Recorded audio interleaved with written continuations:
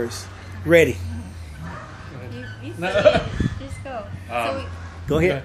Oh, I don't know. That's okay. I'm just getting the cards. Uh, we just came here to buy a new car that would fit our uh, our lifestyle better than the truck. So, but thank you. That's